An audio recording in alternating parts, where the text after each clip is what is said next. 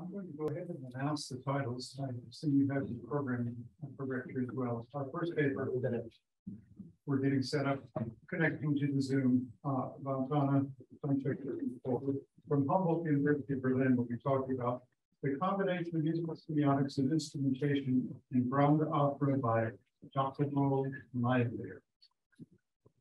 We'll have this PowerPoint up here in a minute. Yeah, doing it. We're waiting for the handshake between Zoom and his own PowerPoint. Thank you very much. Good afternoon, everyone, and welcome to my presentation. First of all, I will thank you for the organization for the wonderful conference. And my name is Vantana Tancharanpon, come from Thailand and graduated from, from Humboldt University, Berlin. And now I work as lecturer at uh, Chulalongkorn University, Bangkok, Thailand. And fly, I fly direct from Bangkok to visit this conference and next week I fly back. only for the conference. Okay, uh, the topic of my paper is the combination of musical semiotic and instrumentation in song opera by Giacomo Meyerbeer. Uh, this subject can be looked under the following heading. I think many, many people know about Giacomo Meyerbeer. I think because uh, yeah, Giacomo Meyerbeer. Okay, I will scope some very important about uh, Giacomo Meyerbeer. I think the PDF is work. Hmm. Okay. Oh, okay. Meyerbeer was born on 5 September at, uh, 1791 in Berlin and died in 2nd May 1864 in Paris. Uh, since 1805, Meyerbeer was received a composition lesson from uh, Carl Friedrich and then with uh, Bernhard Anselm Weber, which along ignited his theoretical passion during the time. Uh, he was in the environment of the musical composition and performance of the court of Berlin until 26 March 1810, his first stage uh, The Fischer und das Machine, was premiered. And the second, this one, uh, next guy is very important and influence from Meyerbeer is Abbe Vogler. After Meyerbeer have a composition lesson in Berlin, Meyerbeer have a composition and instrumentation, instrumentation technique with, with uh, Abbe Vogler in Darmstadt. Abbe Vogler is one of the most important composers in Mannheim School in Germany in that time. Uh, the compositional work by Vogler include almost every genre. He wrote numerous writings of music theory and instrumentation. Among them is the Deutsche Encyclopedia from 18, uh, 1785 and uh, Die Betrachtung der Mannheimer Tonschule in 1778, which are important textbooks of that time. The two of textbooks, the Betrachtung der Mannheim Tonschule und die Deutsche Enzyklopädie is uh, they are very important textbook from Meyerbeer. They have many about the instrument, instrumentation aesthetic that Meyerbeer learned in, in that time. At that time, at the Vogler time and Mannheim Schule, the basic idea was uh, the emancipation of classical aesthetic by the presentation of the new instrument and new range of the instrument. The important, uh, the important, the important basic and the conception of arrangement, the perception of painting and music and the musical painting are still become apparent in Meyerbeer class by Vogler. The main conception by Vogler, as I told, is clearly recognized that he, uh, he uh, his perception between sound with the ear and color with the eye. This is the main concept from Vogler.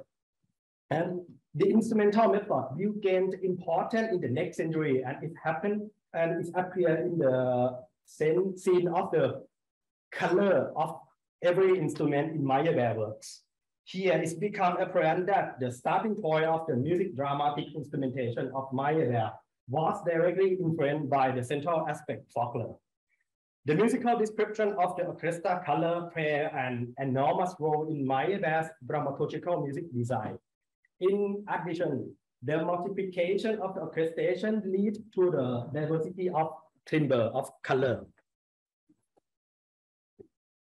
Meyerbeer made great process as well in his piano lesson with Vogler first and then composed his opera Jephtas Gelübde was premiered in Munich on 23rd December 1812.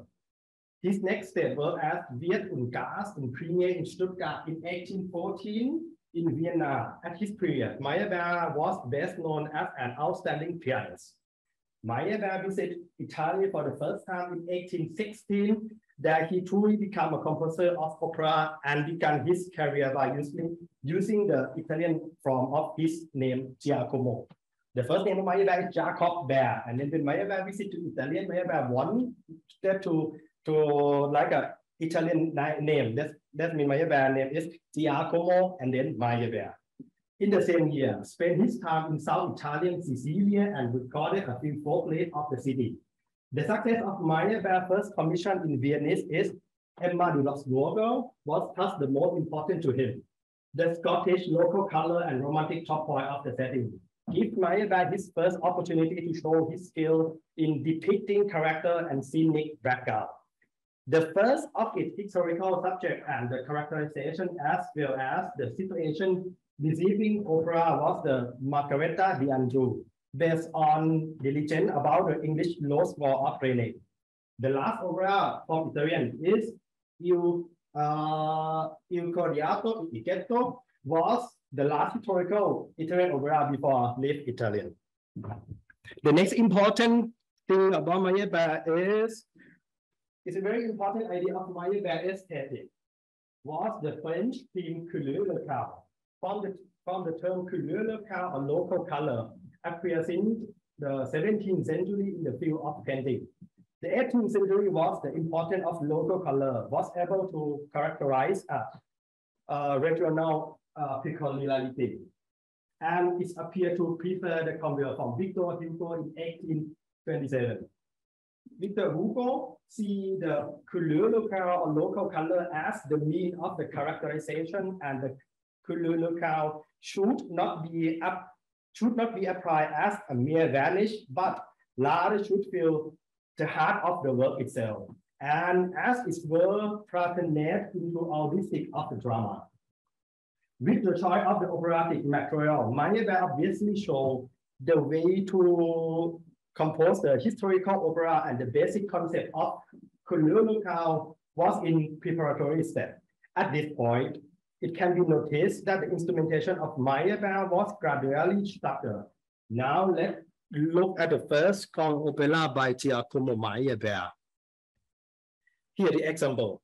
A characteristic of the grand opera is represented by a large scene, a large boy, or a ballet pronounced, as mentioned. The grand opera of Meyerbeer had the historical subject for design, color, lo local color include.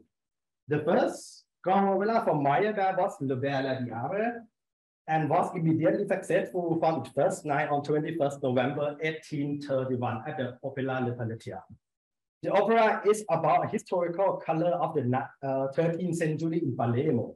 The plot of the opera is based on a reverse element in the dramaturgical center is Louvet, the youth of Normandy, and he finds his great love in Isabella, the daughter of the Sicilian king. You can see the two states of the opera, Normandy and Sicilian.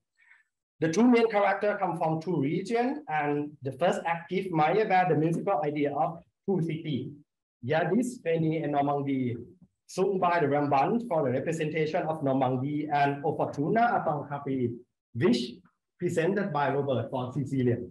Now, we show you first here. Not true. Bit much better. Okay. Okay, Meyerbeer used the ballad as a musical description on the demonic history of Normandy, as well as locale of the local situation. He also connect the musical color with the figure. The dark tone represented by the low pitch, a demonic drawing, always in the dramaturgical action accord. The sound idea of the demonic figure is already in the overture presented. Then Meyerbeer connect the demonic sound conception with the rebuttal and now be associated with the couleur locale, the local situation from which Flaubert and Bertram come. After the, after the presentation of the couleur locale of Normandy, Meyerbeer want to show musical sound presentation of Sicilian for the first time in his opera. This, this one is ballad, and the second one is Sicilian. At the beginning of this uh, Sicilian a character of folk lead become uh, accentuated by the musical ornamentation. The horn and the deep string instrument dominate in the ballad of Normandy. They set especially the dark tone color, the combination of low pitch. In contrast, the couleur locale of the Sicilian dance with the woodwind and string instrument presented beside the bright color get through in the scene in the high pitched instrument in F major. After, consider, after considering the couleur locale of the two scenes show up obviously that Meyerbeer make a scheduled use of instrumentation and couleur locale. Now I will show, oh, okay. Need to script the can, can I? Okay.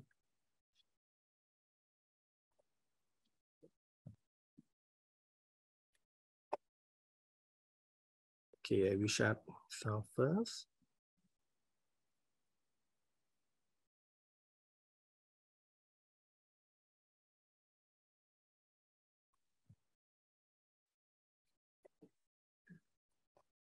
Wait for a minute. Share sound and then. Okay.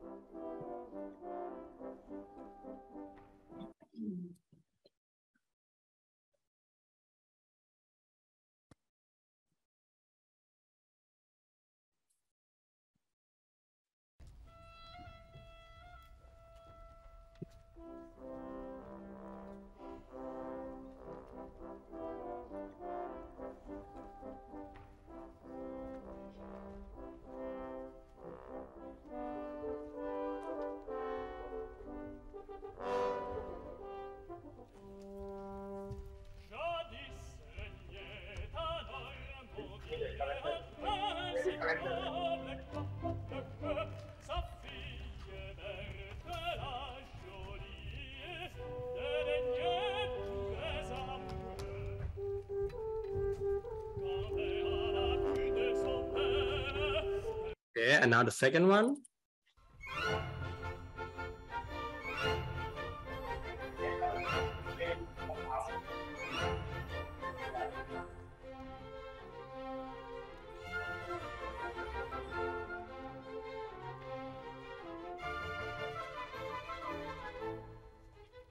Yeah, this in the first example. And then I'm back to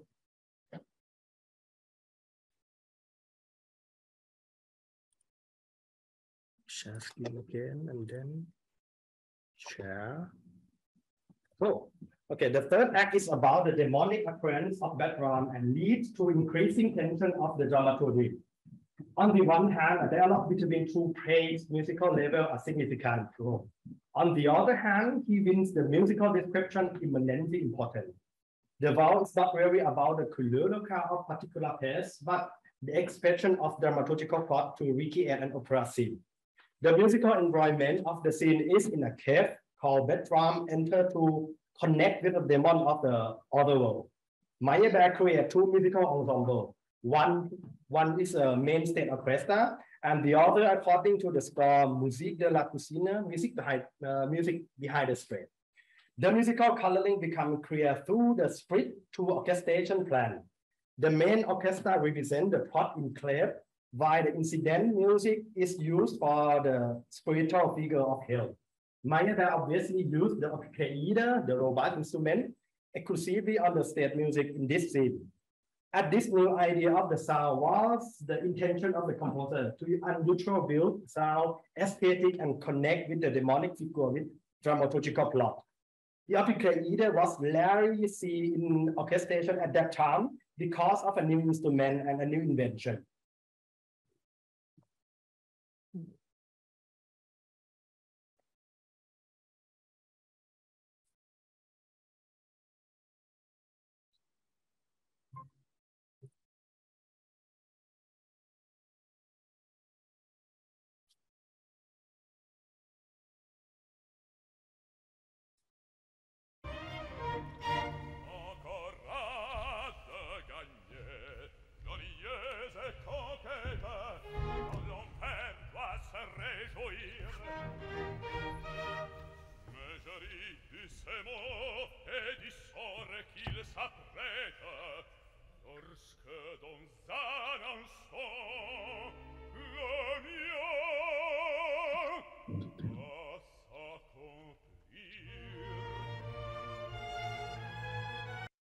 You saw this, the bar connect the instrument, connect the instrument with the, the scene and the plot. Okay, I will split this one and go to, okay. For more than 30, 34 years, Meyerbeer deal with the form opera after he left Italian. The analysis revealed that Meyerbeer wireless instrument used to create the new perspective of illustrated dramaturgical sound conception. The development of the orchestra apparatus is also an important facet to the dramaturgical design sound effect. The instrument combination is the important one reason to the new instrumentation and the extended pitch of the instrument in the of Meyerbeer. The design of couleur locale after this detailed consideration that the extension of the musical element can make the musical coloring possible. According to my analysis and according to the critical vision the recording publishing become the table of the orchestra, orchestra apparatus here. Uh, you can see the table of the development of the orchestra apparatus can be seen as noticeable. As the function of the bass and bass instrument increase and the case is not just the main orchestra explained, but also the incidental music or stage music. By complementing the instrument is opportunity to create a wider sound idea. As mentioned at the beginning, uh, the musical technique could demand a certain sound design to precise environment and the particular situation can be expanded. This has the consequence of the representing of numerous and new elements. In conclusion, for the, for the observation and imitation of certain situations, Meyerbeer design systematic instrumentation. The semantic meaning of Meyerbeer always used instrumentation in the dramaturgical plot and relate the scene. He used the characteristic of the length of the instrumentation for the dramaturgical figure as a fundamental element and the basic conception of Meyerbeer developed. Basic principle of and the basic of principle of Wagler too. I hope you you will have gained insight to the musical semiotic from Meyerbeer and Opera from Meyerbeer and thank you very much for your attention and really sorry for some technical problems. Thank you very much. We have time for a couple of questions. Well, I might start with one. Um, what impact, you mentioned the Italian influence, and when he's in Paris, what impact might the German Romantic opera have had on Meyerbeer with its coloristic from E.T.A. Hoffmann and, and Weber? Yeah, of course. Because, uh, first is about the instrumentation. The instrumentation very important thing is the low instrument of the leader and bass saxophone and baritone saxophone and new the new family of the instrument. There's a big impact on Meyerbeer. The Meyerbeer has the idea of emancipation of the the old the old aesthetic from classical to the to the roman romantical era. I noticed also you may not have been able to see the increase in the percussion battery uh, across the years in those four operas. Yeah just exponential. Yeah. Sound colors that he's getting beyond the classical orchestra Yes. as well. Are there other questions? If not, we will thank you very much and move on now to our next. Thank you very much.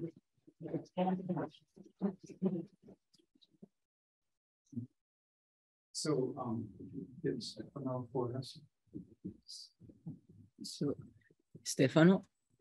Yes, yeah, yeah. Okay, good. Excellent.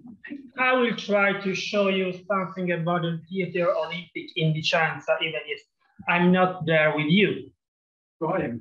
Let's try to follow me, okay? Okay, first off, we need to. Uh, you have to permit me to, to share the video. Yes, but lower the volume. Oh, yes. Yeah, I'm lowering it. Pardon? I'm lowering it. Okay. I cannot share. Okay. Let's try now. Olympic Theater in Vicenza. I'm trying. Okay, just a moment, please. Okay, here we are. Do you see? Not yet. Not yet. And now? No. No, not yet. Just a moment. Uh, did you give permission? Yes, I, I did it. Yeah. Just a moment. Allora, okay. Just a moment. Here we are. Yes, good. Okay. Allora, the Olympic Theatre in Vicenza, I've been working there for one year in 1999. It is a wonderful place. If you don't know it, I advise you, you have to go and visit it. Listen to me and come with me. I'm not a musician, I'm a semiologist, so my uh, paper will not focus on music. On the other hand, I would prefer to analyze shades and images. Okay. This is a, a, photo of a modern representation, classical representation, or just representation in the Olympic Theater. If you don't know it, you may think that is a Greece or Roman theater. It is not. It is a classical theater well, designed by Andrea Palladio in 1579. Stefano, Uh, Stefano sorry, can Um, You need to start your slideshow so we can see the larger slide. I don't understand what. That's perfect, thank you. Okay, okay. This is good. Okay, you, you can can you enter on full screen here on PowerPoint? okay.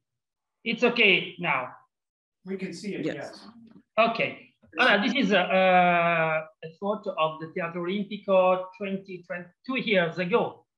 Uh, it is wonderful, but it is a fake theater in some way. Now, it tries to be an ancient theater, but it is not. Okay. Let's focus on the, its role, no? The role played by the Teatro Olimpico in the evolution of Western theater has been a core topic at the center of many discussions and analysis since its construction in the end of 16th century, uh, from 1579 to 1585 by Andrea Palladio, his son Silla, and then in the end by Vincenzo Scamozzi. Uh, it is uh, uh, a complex architecture and performance structure. Uh, how would you describe it? A peculiar dramatic creature, the last of the ancient theaters, the first of the modern ones, or something different? Uh, let's try to analyze these words. These were these words were pronounced by Angelo Ingegneri in 1598 he was the director of the first premiere in uh, 3 March 1885. I will uh, read the translation in English. And in short, the theaters will all want to be like the Olimpico of Vicenza, very noble witness of the splendor of that homeland and the magnanimity of those, those academicians. Quindi uh, this is a kind of uh, wonderful response of the premiere. Now, these words uh, written by Angelo Ingegneri, the, responsible for direction of lights, of the Oedipus the Tyrant, uh, which was the endecasyllables version of Sophocles' Oedipus the, the King, would, be, would have been meaningless until 1585. This uh, lavish premiere uh, generated all around Europe an interest in classical theater. In fact, this place, uh, from a physical uh, point of view, was not a theater at all. It was a custom post, a monastery, and a prison. Let's have a look to the structure. Okay, this is the, the external walls, which are medievals, and the plaza, the place. This is the interior, the courtyard. It is beautiful, but it is medieval. This is another point of view, medieval structure. If you enter, this is the odeo and anti-odeo, a kind of foyer in the modern theaters. And this is its interior, it, which is amazing in some ways.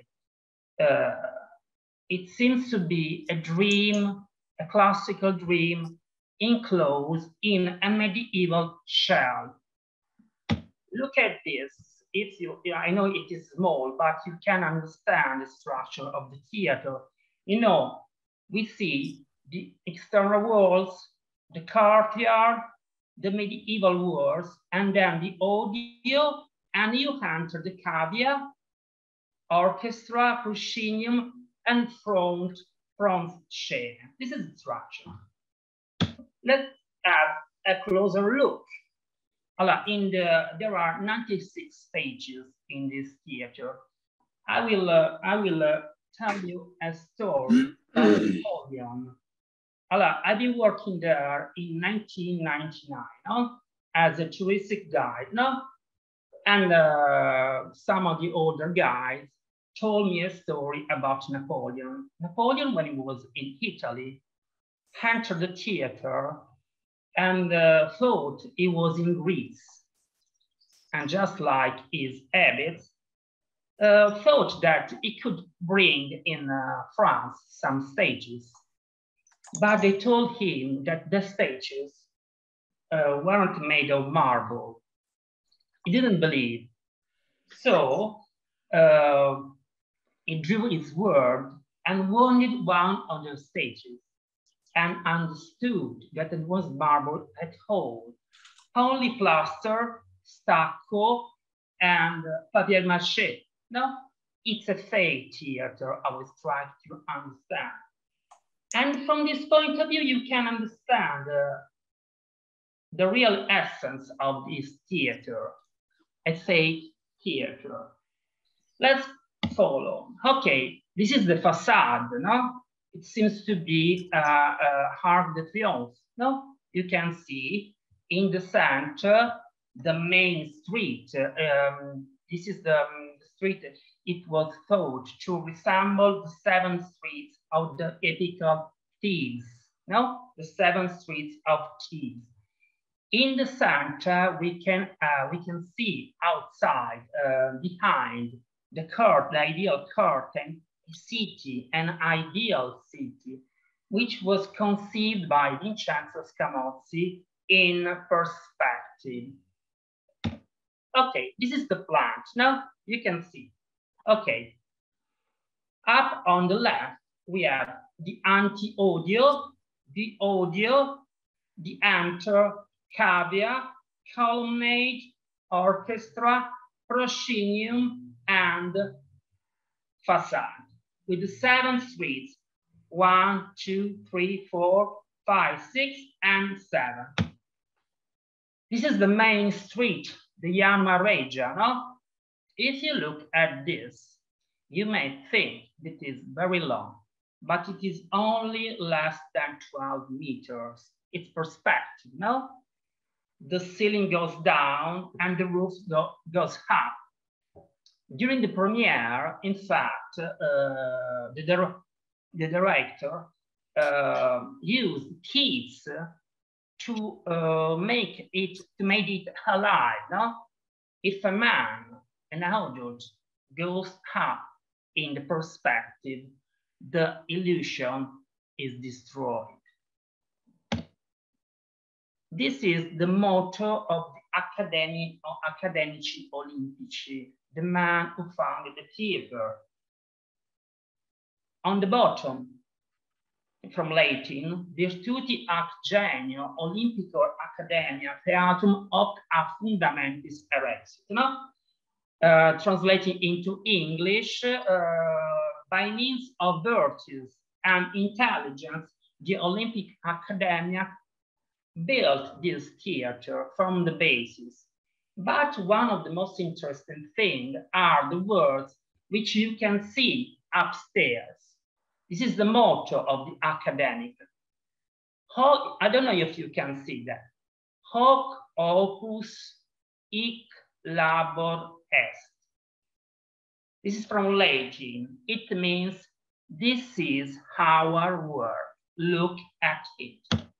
Okay, This is an axionometrical point of view of the theater. You can see if you haven't understood. No, the cavea is classical, semi-elliptical, the orchestra, proscenium, Odeon and anti-Odeon, facade, and the seven streets.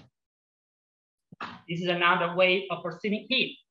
You see the proscenium with the actors that aren't allowed to enter the scenes, otherwise the illusion would be damaged, okay?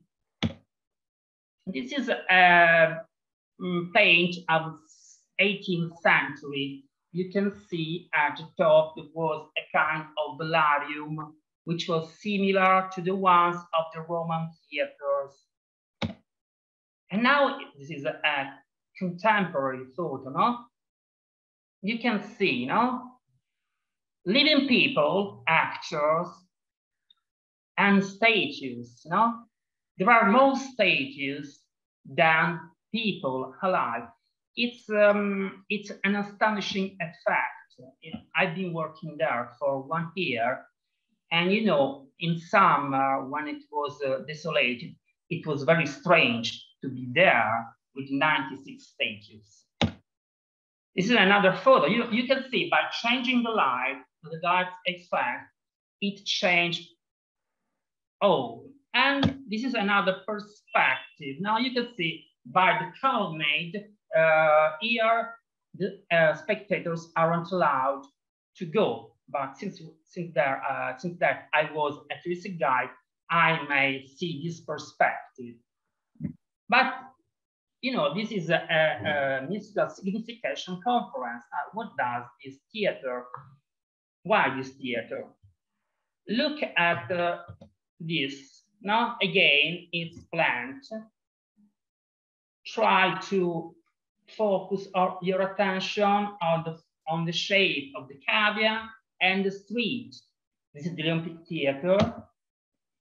On the left, we have the plant of the Theatre of Sabbioneta by Vincenzo Scamozzi, which can be considered very similar from an iconic point of view to the, the image on the right, two violas of the Renaissance period. No? In fact, the theater was made by wood and it was an it, it had an excellent, excellent, very, very good acoustic. No more, I will show you.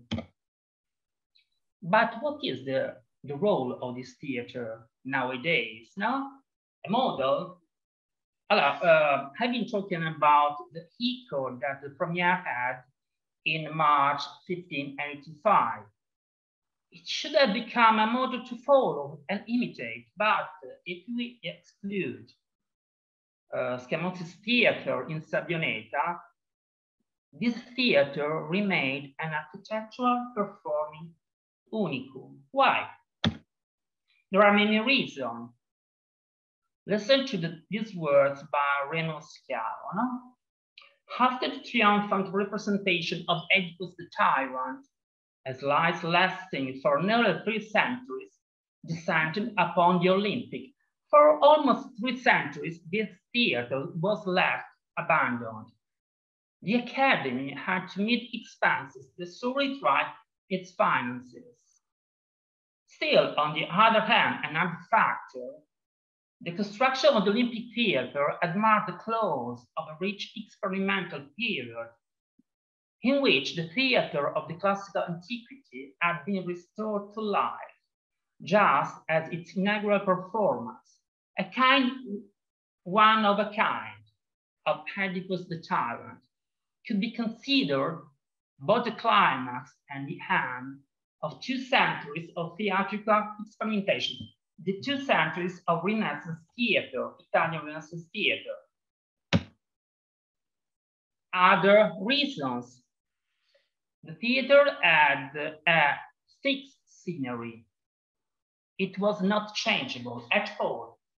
And this was its cifra, its identity, its strong identity, but at the same time was a limit in fact, the Olympic Theatre could not satisfy the necessity of setting variation typical of just falling Baroque theatres.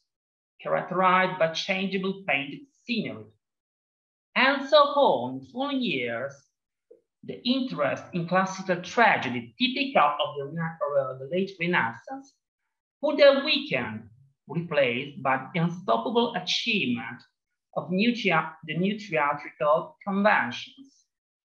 And uh, the Palladian shell was not comfortable, was not suitable. Let's try to, to follow me in this metaphor, like a chrysalis that isn't able to get out of its cocoon, its cocoon can become a butterfly. The Olympic theater, a classical and self-celebrating dream of a political and economically subordinate elite, has remained miraculously intact for more than four centuries. Paradoxically, protected by those very solid medieval words, so far from the Vitruvian eurythmy, no, you know, the concept of eurythmy, beauty and fitness in the adjustments of the members. Painstakingly pursued by its creator in all of his works. Palladian uh, was fascinated by Vitruvian eurythmy, the uh, equilibrium of the parts in the whole. And uh, let's try to finish. What does it represent now? You know, in uh, some kind of uh, offensive metaphor, the Olympic Theater has been compared. I don't know if you remember it, if, if you ever read The Promised Spouse, you know? There was an old servant of Don Rodrigo, a minor character in the plot of the play, uh, of the novel by uh, Alessandro Manzoni. And this strange old man was uh, used to spend the majority of his life alone and neglected in a room, just like the Olympic Theater, abandoned. But sometimes it was shown almost like a trophy, with all its refined elegance, the perfect tool to celebrate important guests. It was useful, but only sometimes.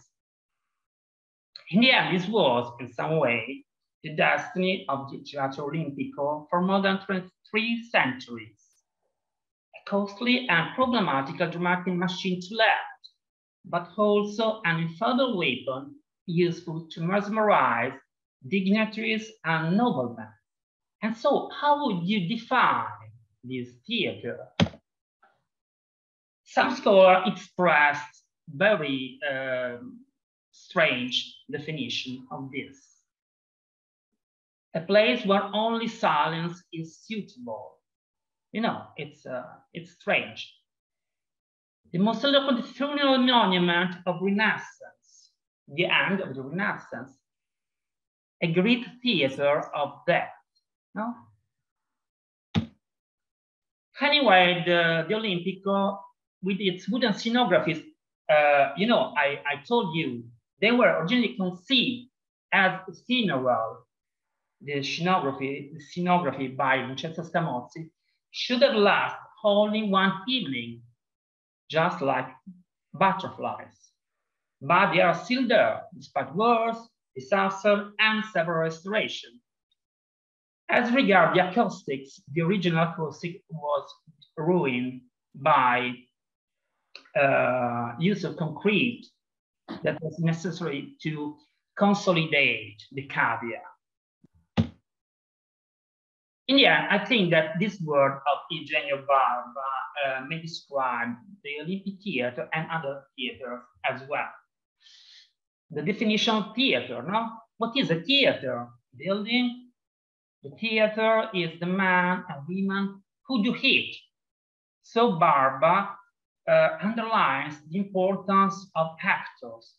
But on the same hand, he says, Yet when we visit the theaters of Dortmund, Versailles, the Farnese Theater of Parma, and even the Olimpico of Vicenza, we often experience some kinesthetic reactions that a living spectacle can give us. Those stones and bricks become living space even if nothing is represented there. There are also a way of thinking and bringing of theater materializing it and pass it on for centuries. Thank you.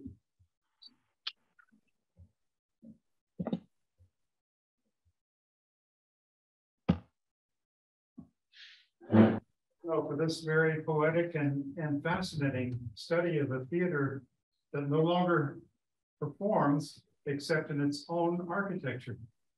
It's fascinating. Uh, we have time for a couple of questions.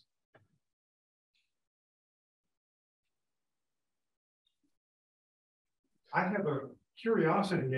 Um, you say you're not a musician, so they, you may not know the answer to this, but at the time, um, opera was just around the corner, right?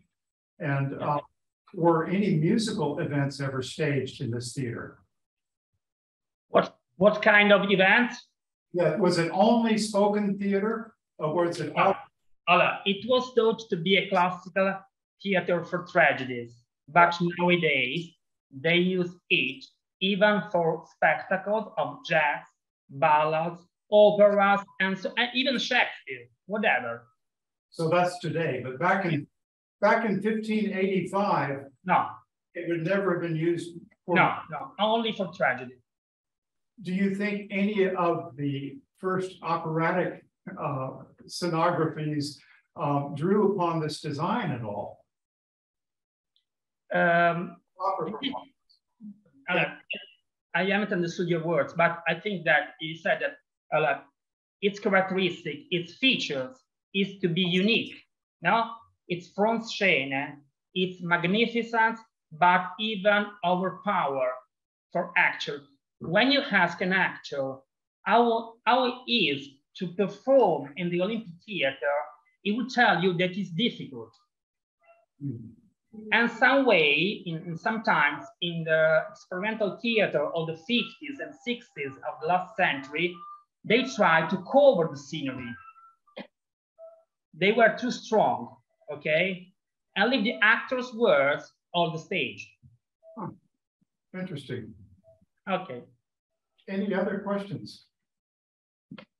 Well, we are running short of time, so we will move on, but thank you very much for your contribution. I Thank you. you. Stay with us, observe for the remaining two papers. Thank you.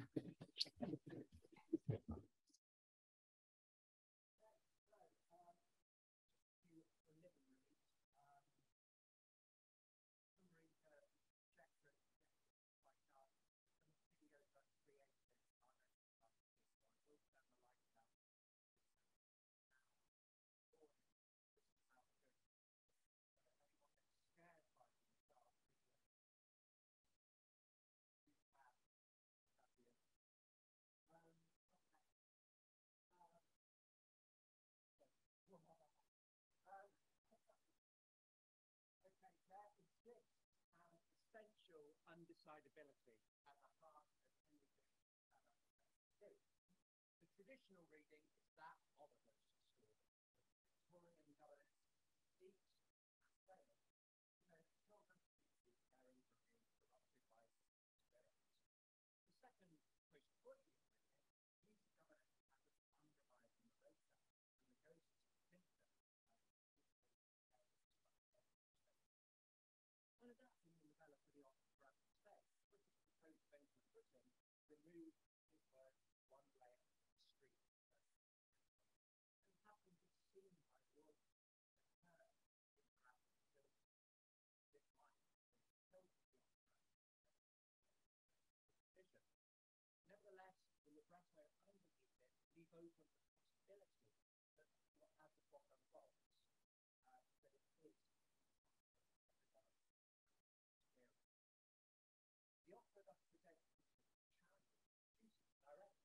possibility that what as the plot unfolds,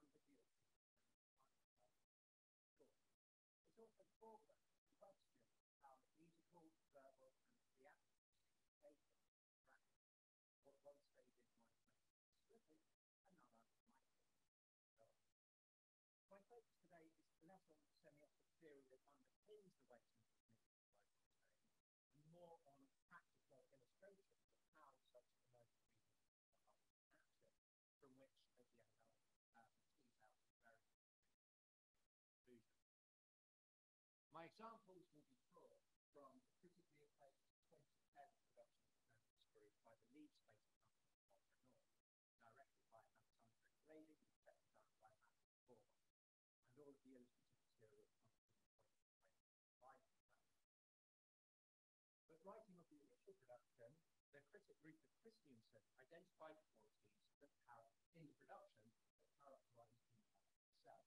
He wrote, everything here is spooked with ambiguity and uncertainty.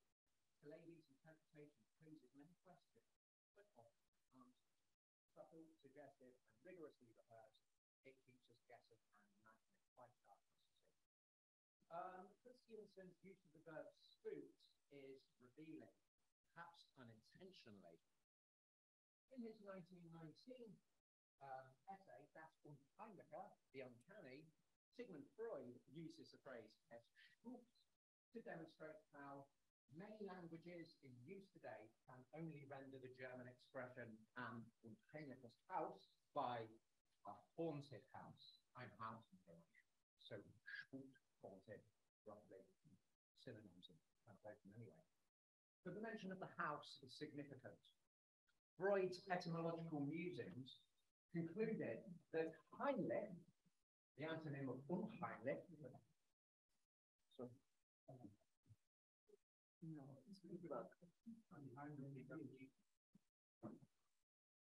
Okay. Spooky. Um, um, Freud's etymological musings concluded that Heimlich, the antonym of unheimlich, um, can have two um, different meanings. Heimlich could mean homely, intimate. Or Heimlich, in relation to Geheimnis, secret, can mean secrets that are concealed.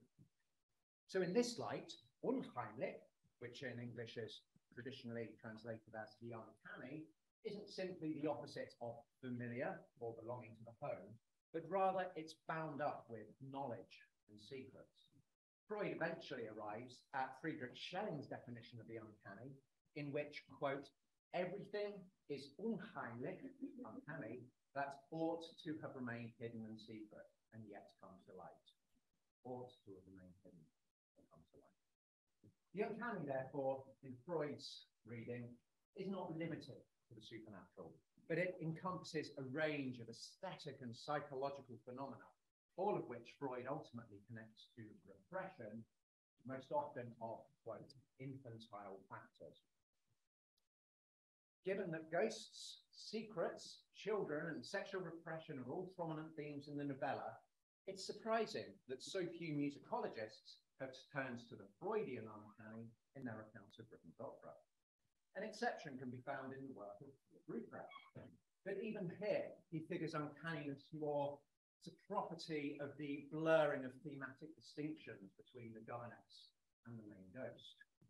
Ruprecht's argument allows, nevertheless, for the possibility that uncanniness arises neither as a topic nor as harmonic undecidability, but rather uncanniness in Britten's turn of the screw emerges as a textual strategy or a textual script. And this is in keeping, though Ruprecht doesn't mention it, with post-Freudian approaches to the uncanny found in the work of scholars such as Poirot, Cixous, and Derrida. So my central claim today is that Alessandro Talevi's production of Turn of the Screw actualizes a particular musico-dramatic strategy through which uncanniness emerges cumulatively. I'll explore this through the ways in which the production stages and reworks the significations of a three-note motif, first presented on the Celesta, that recurs through the opera. This idea has been conventionally associated with the ghost of Peter Quint, the former valet of the children's guardian, and who the governess believes is trying to, or has already, corrupted Miles, the eldest of the two children. See how it. When Quint is on stage, the idea, whether melodic or harmonic, is said to refer to him, like a leitmotif or a calling card. When off stage, it signifies his influence on other characters. From a Freudian perspective, however, this kind of synchronic um, association of the motif, if meaning the same thing whenever it occurs, is insufficient to describe it as being uncanny, not even the supernatural associations it being mathematical ghost. But Talevi's production, deliberately or otherwise, he was caging about this when I spoke to him. But Talevi's production associates the motif, or we hear this motif in conjunction with particular images, gestures, use of props, etc., that provide a visual means of developing the exploration of the inner lives of the characters and teases out the subtexts within the opera of infant, infant sexuality, childhood innocence, repression of desires, and, and doublings. In doing so, the motif uh, accrues its uncanny significance diachronically as a consequence of these accumulated significations. Every time we hear the motif, it brings with it traces the sediment of the previous uses in the production, um, rather than just have the same meaning each time perhaps through the story. And so in order to explore this, I'm going to offer a very potted survey of some of its most significant uses chronologically through the opera. Okay, so actually I should make a couple of observations. From this point on, if I refer to X happens or Y happens, um, I'm referring to the plot as it develops, specifically in the context of Talevi's production. I don't want to keep having to reiterate this each time. It's going to do so. Um, and when I talk about any meanings that this Quint motif accrues, I'm talking about in the context of this production again. So whilst obviously there will be certain things that recur from production to production because they're in the story, the meanings then emerge in the context of one particular production. Okay, so that being said, the first act um, in this production, this combination of music, text, and staging, establishes or sort of plays with the dual notion of homely, as both homely and intimate on the one hand, and as um, uh, secrets repressed, concealment on the other. And what we see across the act is a gradual motion, not entirely linear, it moves back and forth, but a gradual motion towards Heimlich as homely, established through ideas of family, security, happiness, and children's games. Um, and this is reflected in the set design. You might just be able to see that there's a massive double bed in the center.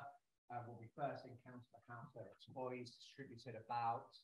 Um, the set is slightly off kilter. You've got a big window here and so on. And that would, in conjunction with what Sarah Tynan has done, moving around. Ooh, this is wonderful. It sort of captures something of the overwhelming properties of the house and this rush of visual stimuli going through.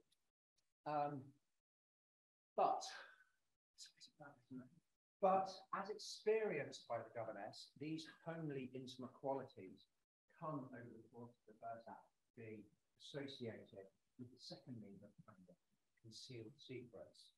And so becomes imbued with potentially uncanny alternative meanings. And I say potentially because for uncanniness, remember, these secrets need to come to light.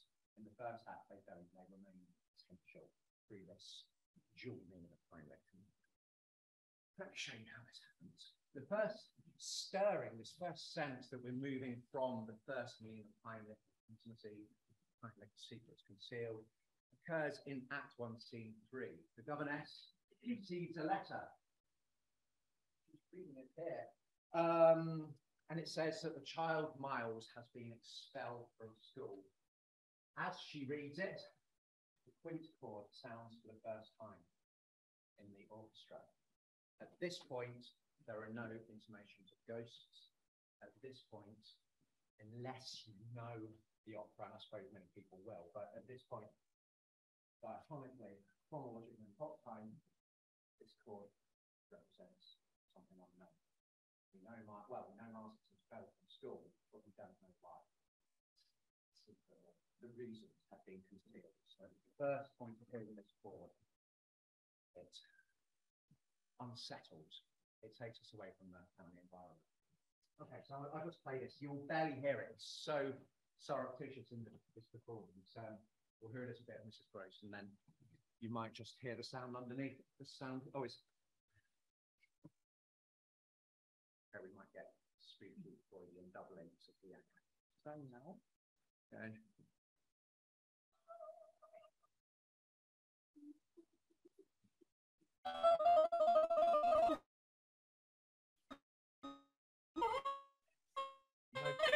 Children lurking behind in this scene. They're just. And it's unclear whether it's just some sort of um. It's unclear whether it's uh just a stagey sort of thing or whether they are actually listening. Um, although actually in the theatre you can see their facial expression, facial expressions show that they are listening intently. They're eavesdropping on this conversation. They're hearing secret about them. And so, as if to dispel doubts, they break into the nursery rhyme Lavender's Blue, symbol of childhood innocence. And the governess, rather than, rather than confront Miles to find out what happens, puts the letter away in a drawer. So the act of the children singing, sorry, it's all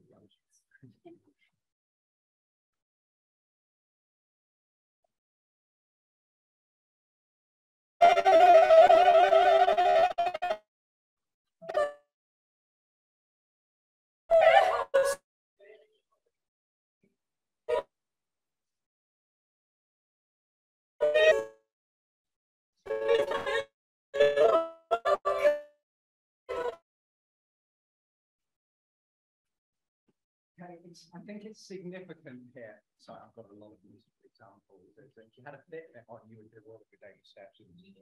Um,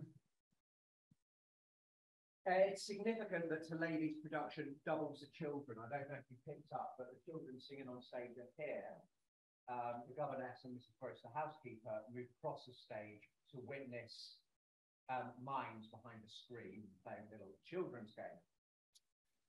The, the, the glass door that they're behind partially obscures our sight of the mind, presenting the games as if at a remove, as if the world of childhood play is inaccessible to the governess. And this is actually something that I think Talevi drew from Britten's because uh, whilst the adults sing a largely chromatic idiom, children sing in pure diatonicism, so we get this contrast between innocence and experience.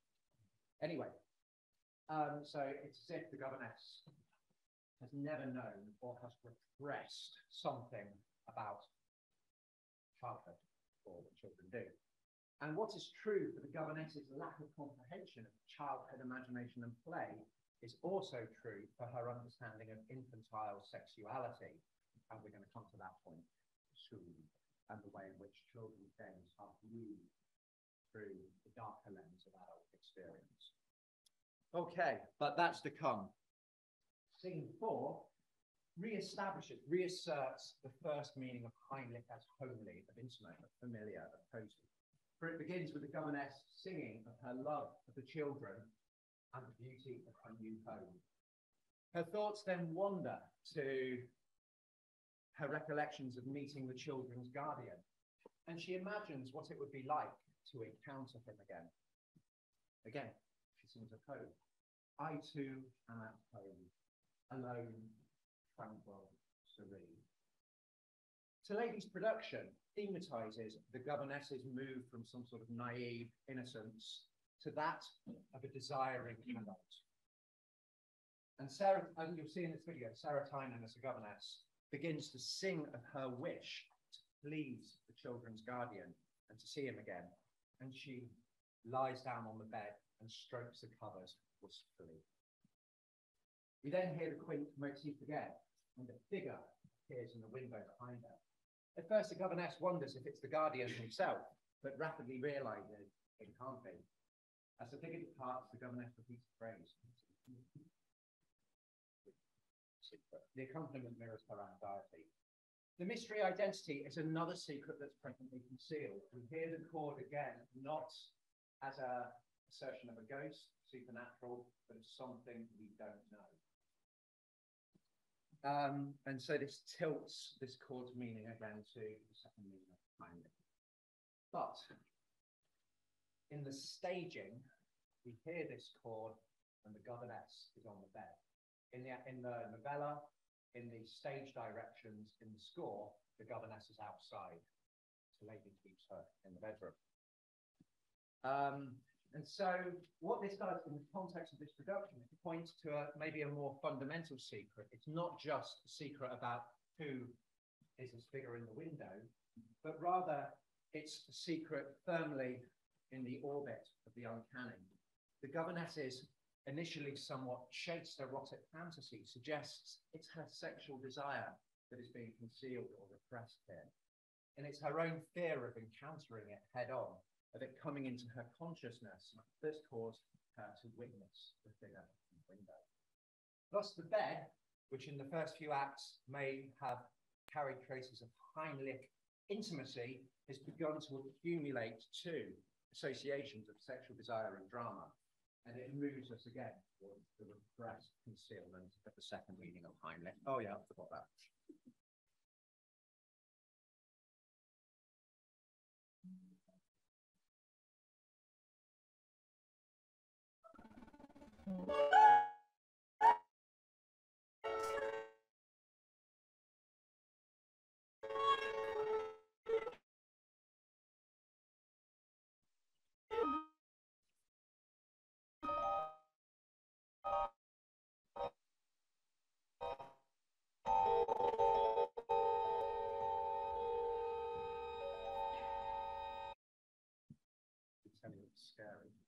Um, the uncanny mood is dispelled again at the start of scene five. It comes and goes, it comes and goes, but gradually accumulating and intensifying. Um, and it goes because Miles and Flora, the children, the boy and the girl, sing another childhood song as they play in front of the governess. Tom Tom, the Piper's son. Now, this song, we haven't got time to play it, but um, the lyrics, as often in childhood songs, point to something a little bit darker. Theft, beating, chasing. All of these are classic Victorian vices that could occur under the influence of corruption. And the physical interactions of the children in the Opera North production try to find balance between sibling, uh, sibling intimacy and more sexually charged, potentially innocent, potentially not innocent um. The children eventually leave the stage singing the song. Oh, go through there. Um, then we hear Quint's makes again and he appears in the window once more, this time making eye contact with the governess. Quint's gaze then turns from the governess to follow the children as they move off stage. Or more figuratively, Quint doesn't exist in just in the governess's head. She begins to view the children through, refracted through what Quint symbolizes to her. Um, but the direction of the gaze goes over the bed. The implication here is that um, whether it's ghost, whether it's repression, she's seeing the children through this adult lens, uh, sexual knowledge of um, the repressions of any health. Sorry, I'm talking about all this, and I've given this talk before and made a load of people really, really uncomfortable, but it's Freud's fault, not mine. Um, but a lot of this will come from Freud. Um, anyway, so she's viewing the children's games through the lens of Peter Quint. At this point, her only association of Quint is with sexual desires. Our association of Quint via this chord is beginning to accumulate aspects of sexual desire from the previous scene. Um, uh, so the spectre of Quint and the spectre of his chord symbolizes the transformation of the, um, the childhood game the first, you know, should be innocent. The first meaning of Heimlich. It's what children should do in their own home, feel safe to play. But the chord, the moment, been, it, it gives us a double meaning, both homely and repressed. Okay, so things begin to really to oh yeah. Oh.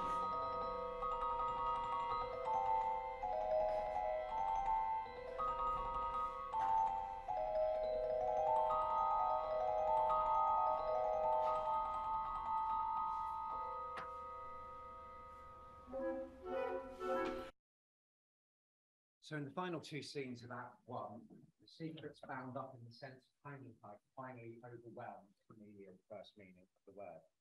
First, the governess believes that Flora, the young girl child, is refusing to admit she's seen a second ghost, the ghost of Miss Jessel, former governess, um, who is dead. Ghost. So again, we get another secret. Uh, the governess believes that there may be, well, actually, in this production, um, in the book and in the opera stage directions, Flora's sitting by a lake playing with dolls. In this, she's doing a puppet show with dolls, and the dolls end up doing something that they shouldn't be. Um, if you've ever seen Team America, they're sort of bordering on a scene in that film. Um, no one's seen it? Oh, a few people nodding, the rest of you. Your innocence. Um, um, so, uh, the governess believes that Flora and Miss Jessel, that there's something going on through this. Um, and to material derived from the chord, she thinks they are lost, they are lost the, it, the court has now utterly become bound up to notions of secrecy with notions of sexual corruption, um, with the notion that innocent children have been corrupted. And it's at this point that we begin to have the seed sown for the uncanniness of the second act. The governess begins to resolve to bring these secrets out to the open to save the children.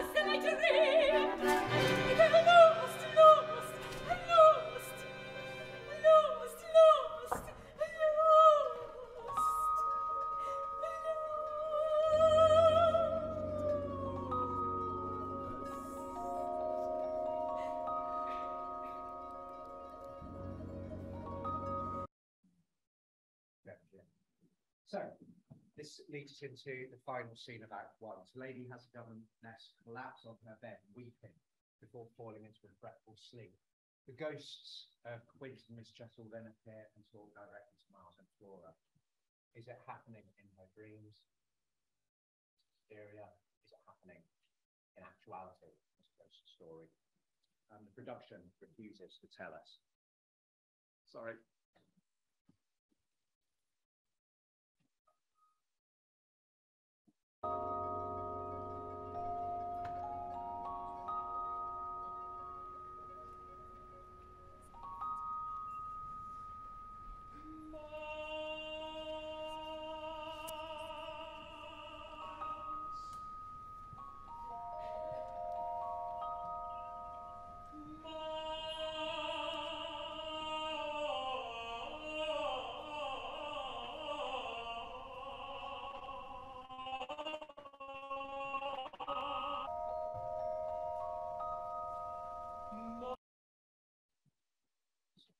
Bit late, but notice how the background of the set had actually changed from inside the house to a slightly different dreamlike world with brightly coloured plants in the manner of um, an Henri Rousseau painting.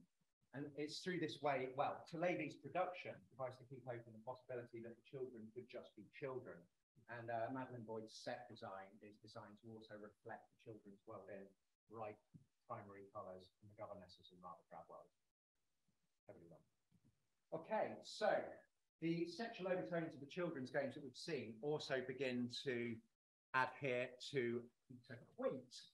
So when he actually starts to sing, we actually hear words from this ghost. So this is where Britten gives the ghost words. Of course, it could still be what the governess imagines a ghost would sing. Um, but he sings, in me secrets half-formed desires meet. You uh, this chord. Yes, that's the only thing. Um, the chord with the word secrets. And we might say, well, that's in Britten's score, but I'm arguing in Talevi's production, those secrets have already been built up progressively, and particular nature of those secrets, which gives us a meaning in this production which we wouldn't have from just the score alone. And Miles repeats the words secret. There's only about 44 more examples, you're right. In me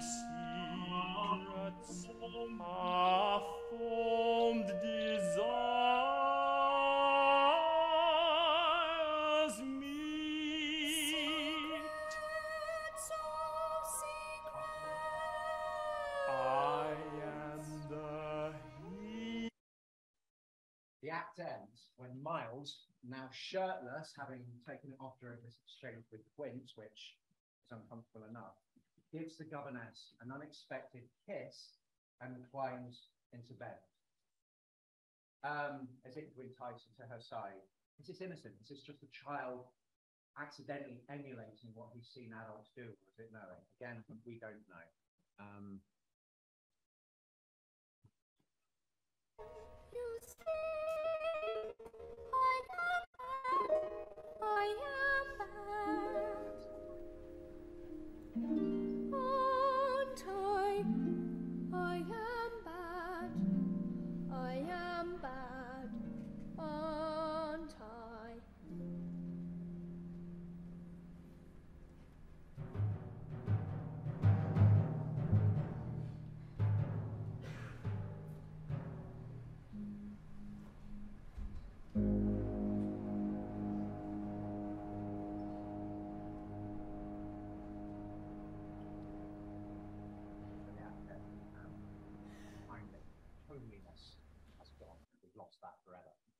Act Two is the governess to bring out this secret. And so the dramatic trajectory in the second half is how the repressed secrets get brought to light, and that's what makes it fun.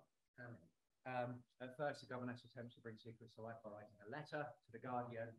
Miles, potentially under Quint's influence, steals it, and then her tactic goes to forcing the children to confess their complicity with the ghosts. Um,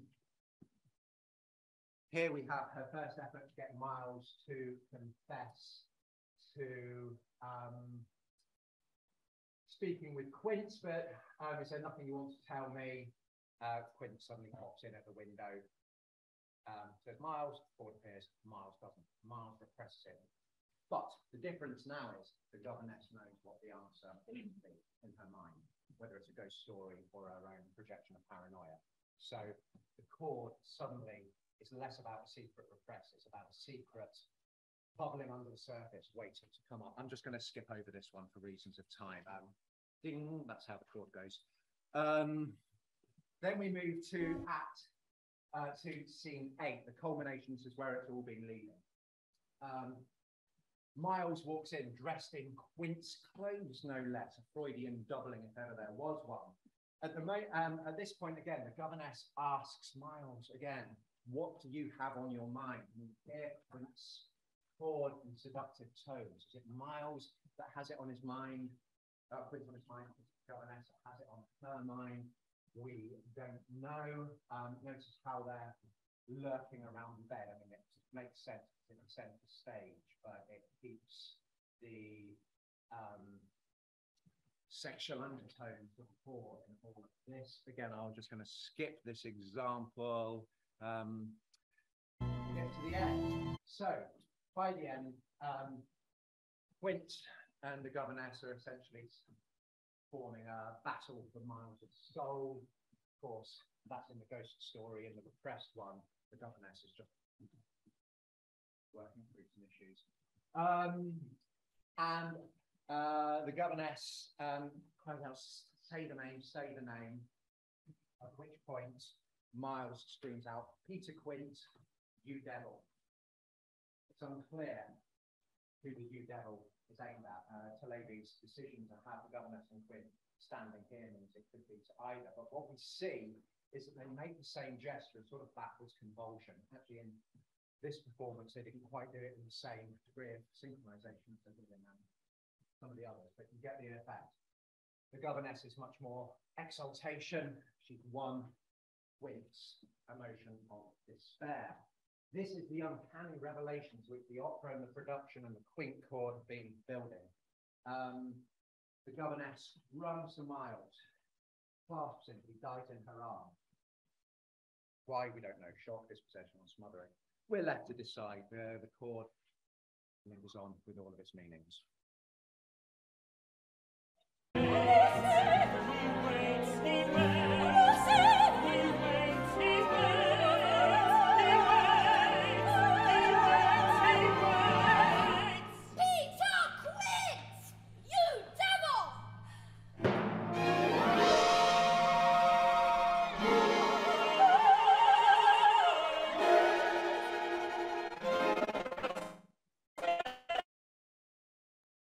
Thanks, incredibly brief remarks. My focus has been on staging rather than performance. We could go much more into detail about how the singers perform their, you know, use their voices to communicate nuance.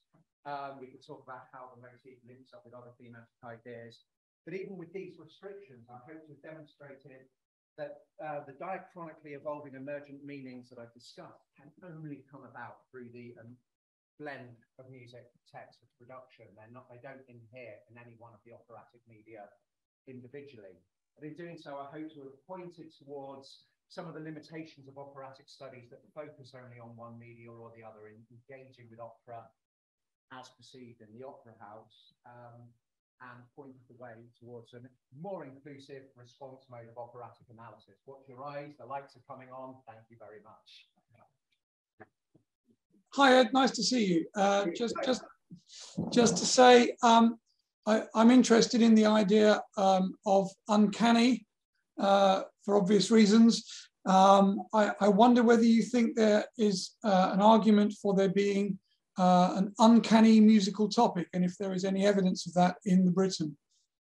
So um, the answer is probably, um, but I think, um, so I'm thinking particularly of the work of Michael Cherlin and um, Michael, uh, Michael Klein in um, essentially uh, using the ombra as a signification for the uncanny. And I think um, to the extent that through and I think uh, we, find uncanniness, particularly when it occurs in a supernatural context, often drawing on the ombra topic.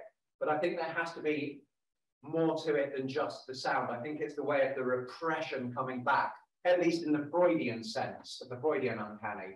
It's how we bring that back. And so just a diminished seventh tremolando isn't necessarily going to be uncanny in the way that Cherlin and Klein use it. So I think it has to be um, contextual, that I think the ombra topic is often used in an uncanny situation, but the uncanny situation is also amplified by text or staging. I'm thinking operatically primarily here.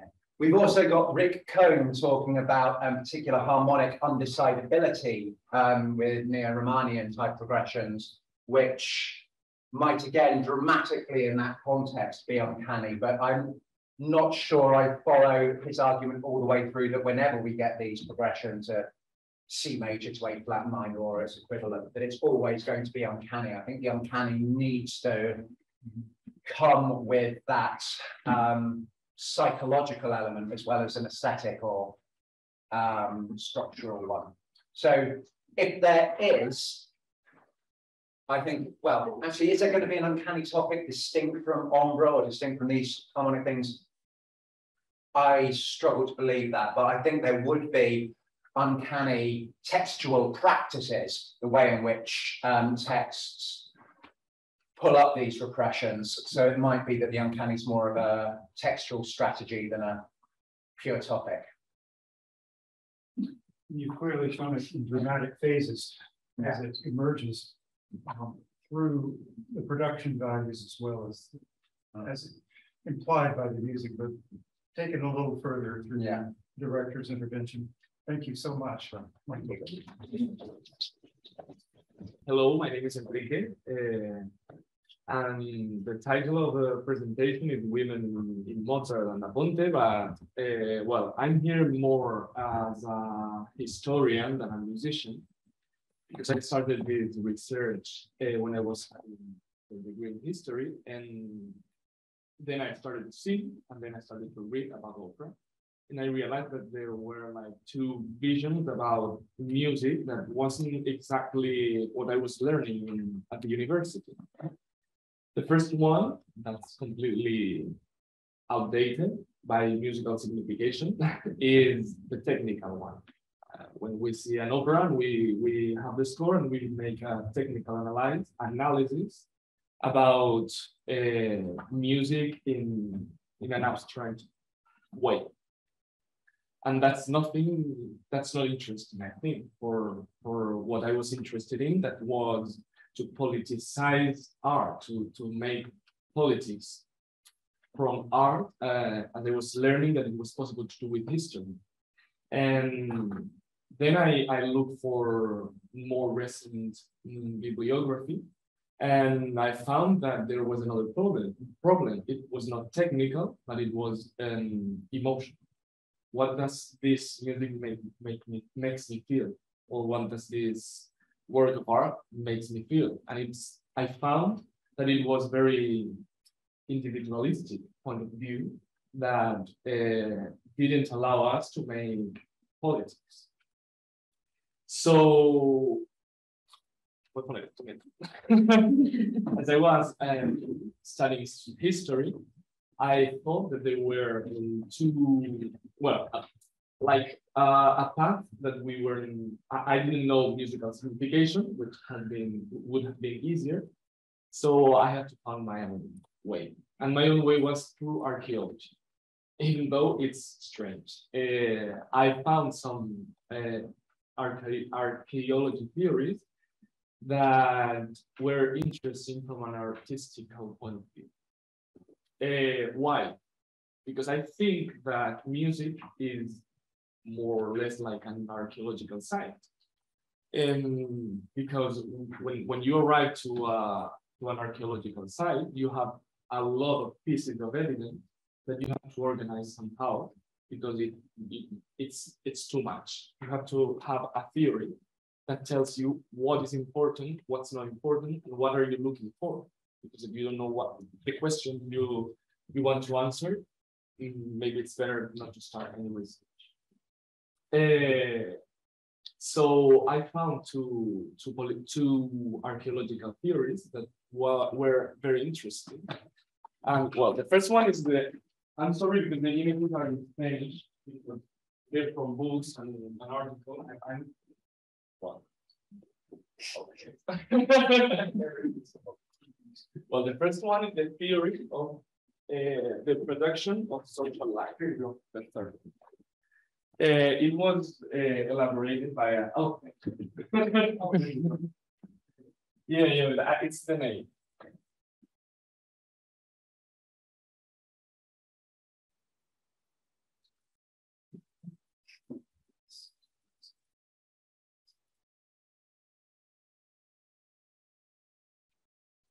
And it's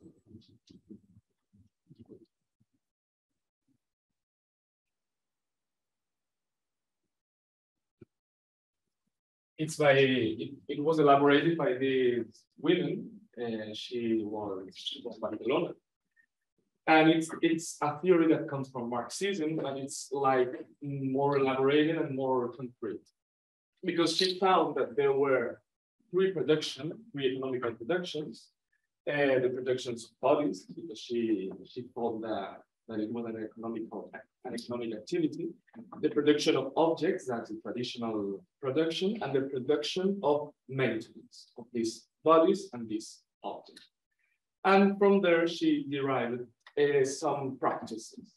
And I'm not going to explain the whole theory, but I will tell that the ones that we're interested in are the politic ideological practices that are not linked directly to any mm, specific production because they're like everywhere. She she defined the, this these practices. I will read it. Uh, these are the practices which, through agreement, impositions, or compromises, are intended to establish either forms of social cooperation or social or either forms of social exploitation in a certain community. Uh, these activities are very important because uh, depending on this, on, on, what these activities propose, the human beings are going to act some way or uh, in a way or in another. Because the human being needs assent to what uh, they're doing.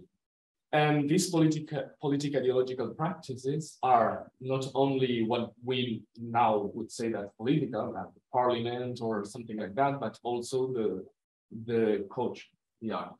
That's explaining us how our society is going to be organized. Who is going to work, where, how much time, uh, who is going to consume the, the thing that, that we produce, and if it's going to be fair or if it's not, or, or, if, or if it's going to be unfair. We'll accept these unfair things if they are correctly explained in the political ideological practices. And here I find the connection with feminism. Because um, we live now in a society that it's not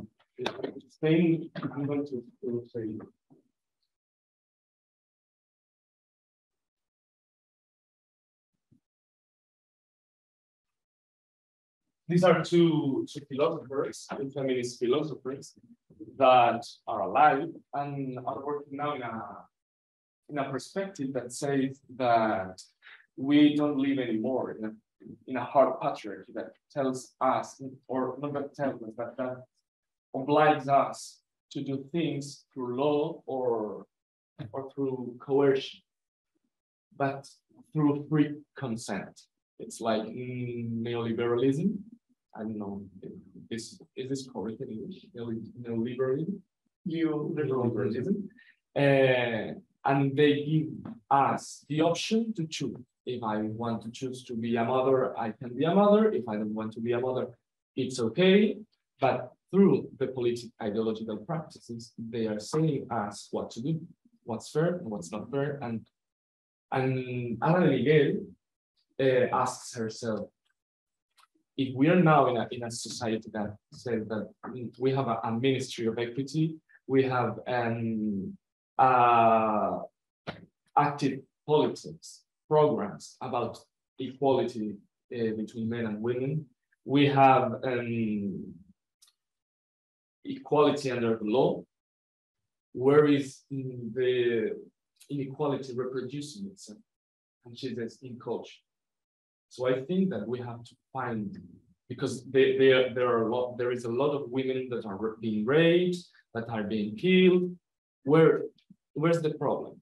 And she said in culture, because culture tells us how to live and where's the important things in life, where are the important things in, in life, where which is the sense of our existence and what do we want. This is these are things that we learn through films, through opera, through music, through uh, literature, etc. And then I will present the, the next um, theory. The, this is my theory.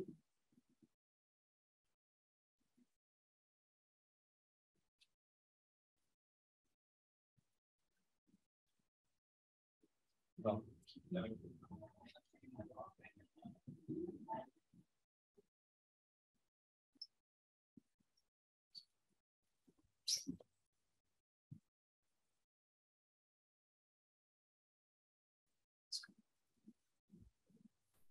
This is a theory, an archaeological theory that started uh, or that has its its that was born studying the cave paintings in in Spain, in the east of Spain.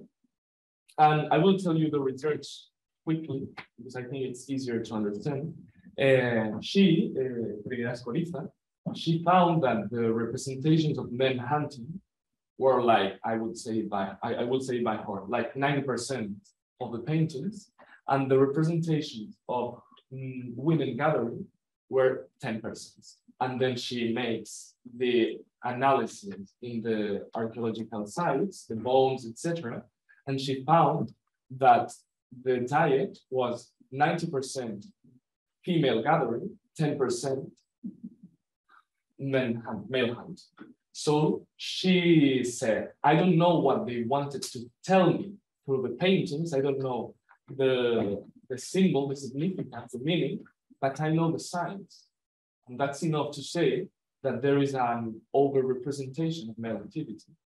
As, and somehow they're hiding the, the, the activity of women. And we are right now to, to, to the point that I wanted to lead you, that's that the sign is more important than the, than the meaning, from my point of view.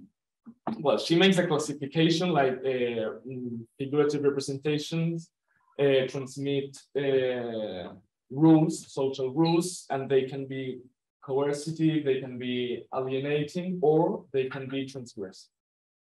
That we'll talk about later. But why, why do I find that, uh, that, that it is important to look to the signs and not to the symbol? Because sometimes we forget that the character doesn't exist, you know. That's it, that opera is not a presentation, but a representation.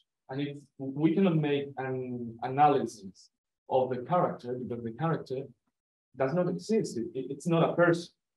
It's only what uh, usually a man, the composer and the librettist, decided to, to representate, represent in front of people to transmit mm, social rules that can be in for or against the, the social the, the social rules that are already established.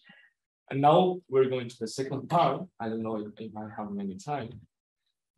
Uh, we'll talk about di Figaro. And well, we have um, two ideas that, are like settled about Nozze di The first one is that it is a transgressive voice against the old regime. And I will tell you what I suppose you all know this book. Well, I, I will. Uh, she says that it's a fight against uh, a fight between the binary rhythm and the ternary rhythm, and that the binary rhythm is the old regime, and the ternary rhythms are the, the new regime that's being brought by the wind.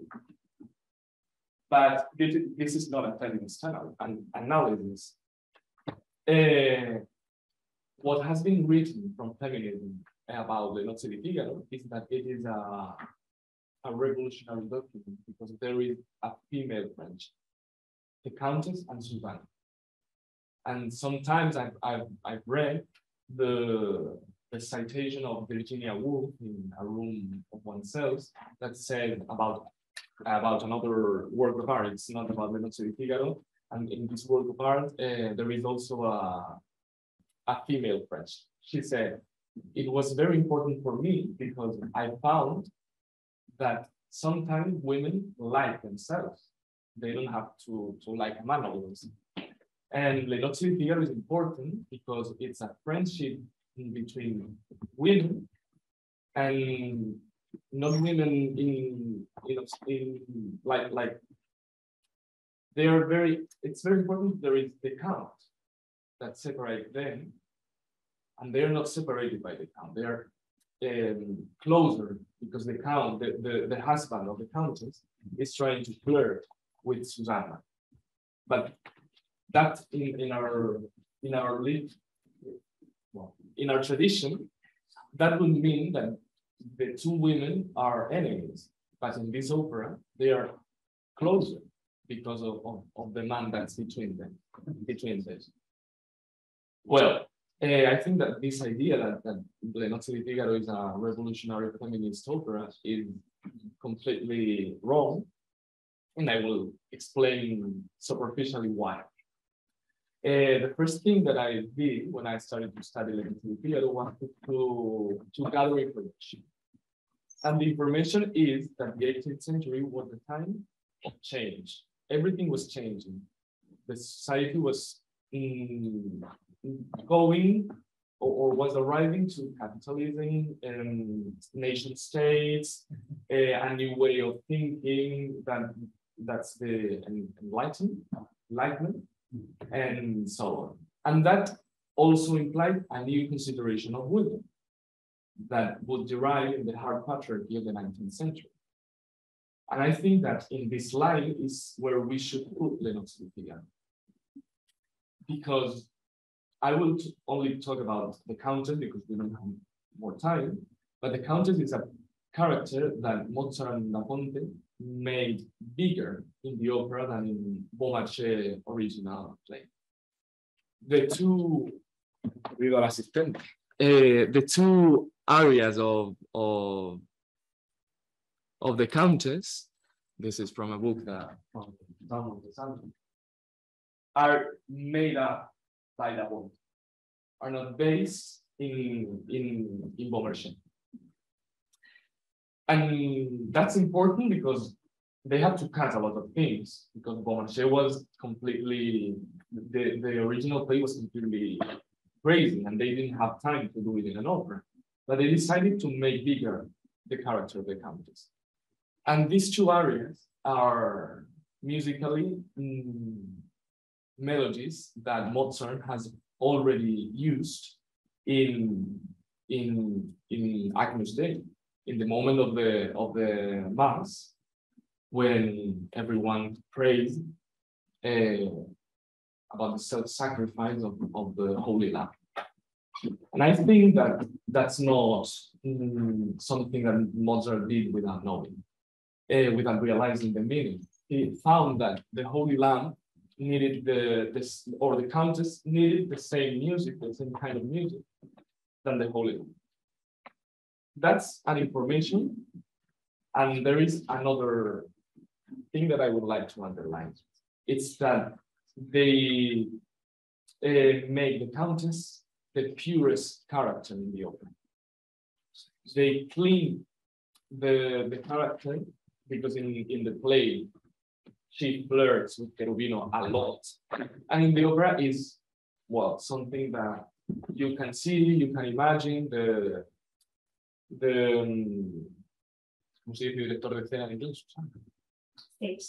The, the, the stage uh, director decides if it's going to be bigger or smaller, but we also have information in the text about the, the cleaning of, of, of the purity of the countess, because there are phrases, phrases that are not, are, not based in Beaumarchais at the arias. For example, Susanna said, eh, se l'amano le, le femmine, certo il loro perché. If women like Cherubino, they have a good reason. That's not in, in, in. That's a way to, to say, eh, well, the Countess is fascinated by Cherubino, and that's logical. El Voi che sapete, it's you all that know about love, but in the in, in Beaumarchais, Cherubino sings mm, Mal, Malheur sans Varanguet. That's a story of a soldier that's in love with his godmother. And the countess is the godmother of Cherubino. And all, all these things are not in the order. So if we have the self-sacrifice information of the arias and we have the modifications that mm, mm, Da Ponte and Mozart made to, to make the countess mm, a pure thing, I would like to, to arrive to a conclusion or, or to, to, to present some conclusions about the feminism in the di Figaro. The first thing is that there is, as someone has said, a feminine space with a feminine relationality Mm, that's the, the countess room and the relation between Susanna and the countess, and that's true. But mm, I will bring another. I don't know if I don't know if it exists in, in, in English.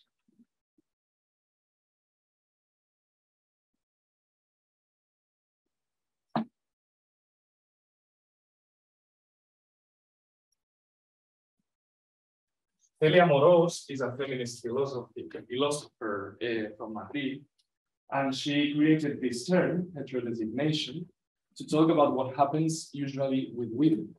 And it just means that mm, women are designated by another. So do we have a feminine relationality and a feminine space in Le Nozze di Figaro? Yes, but is it really a feminine space? Are women what we are seeing in Le Nozze di Figaro, or are representations of women made by men? Because I think that there is no women in Le Nozze di Figaro that doesn't suffer at the hands of a man, that doesn't spend the whole opera trying to, to make him change, and that doesn't re, mm, that it, they're all happy at the end because they have the man they want. So I don't know if that's a woman or what men thought a woman was.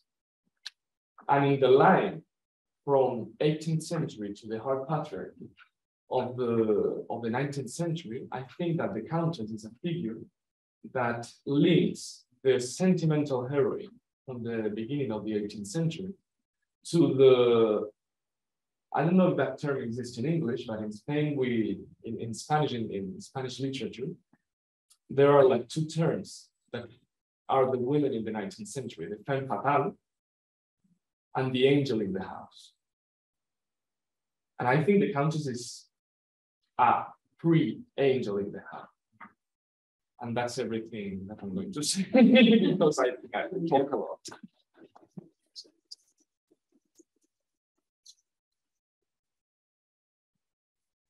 In spite of the fact they want to start this tour early, we have time for questions. I have some thoughts along these lines. One thing that occurred to me is that in the third play that Beaumarchais wrote, the Countess runs off with Cherubino.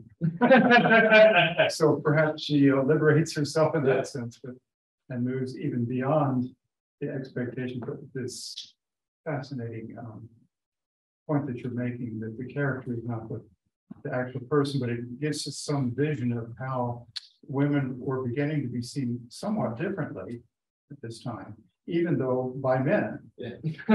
um, we think that there are always images of repressed women, but uh, in Fidelio, for example, Beethoven's only opera, uh, she gets the name Fidelio because she's faithful to her husband, and that might seem, you know, part of the patriarchy. But on the other hand, she dares and has the courage to go and do what she needs to do to try to rescue. So she is the, the active figure, whereas Fidelio, uh, whereas uh, Florestan is just uh, sitting and waiting.